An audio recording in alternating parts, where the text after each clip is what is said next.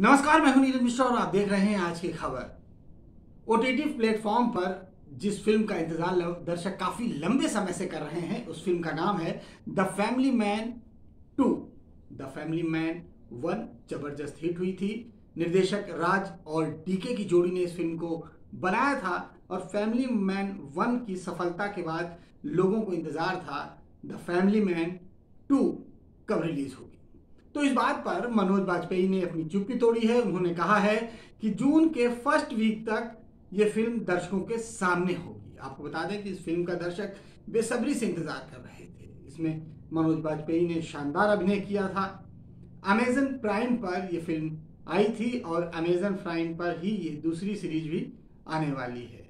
मनोज वाजपेयी ने कहा है कि जून के पहले हफ़्ते में आपको द फैमिली मैन टू देखने को मिलेगी। फ़िलहाल दर्शकों को इस फ़िल्म से काफ़ी उम्मीदें हैं, जैसा कि उम्मीद है कि फैमिली मैन वन बेहद सक्सेस फ़िल्म थी।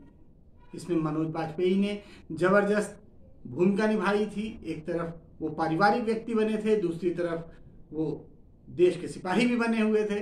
इन दोनों के बीच में मनोज वाजपेयी का ये रूप देख के लोगों को काफ़ी मज़ा आया था। आप लोगों को फिर से एक बार इंतज़ार है कि मनोज वाजपेयी एक बार फिर से इस रूप में उनके सामने आए और द फैमिली मैन टू का पोस्ट प्रोडक्शन का सारा काम पूरा हो गया है और आने वाले जून के फ़र्स्ट वीक में ये फ़िल्म दर्शकों के सामने होगी। तो तब तक करिए इंतज़ार और देखते रहिए आज की खबर।